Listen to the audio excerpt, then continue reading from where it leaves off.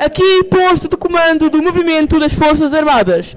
As Forças Armadas Portuguesas apelam para todos os habitantes da cidade de Lisboa no sentido de recolherem as suas casas, nas quais se devem conservar com a máxima calma. Esperamos, sinceramente, que a gravidade da hora que vivemos não seja tristemente assinalada por qualquer acidente pessoal, para o que apelamos para o bom senso dos comandos das forças militarizadas, no sentido de serem evitados quaisquer confrontos com as Forças Armadas.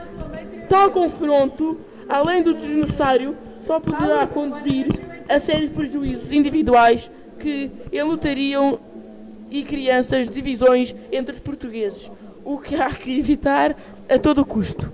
Não obstante, expressa preocupação de não fazer correr a mínima gota de sangue de qualquer português. Apelamos para o espírito cívico e profissional da classe médica, esperando a sua ocorrência aos hospitais, a fim de prestar a sua eventual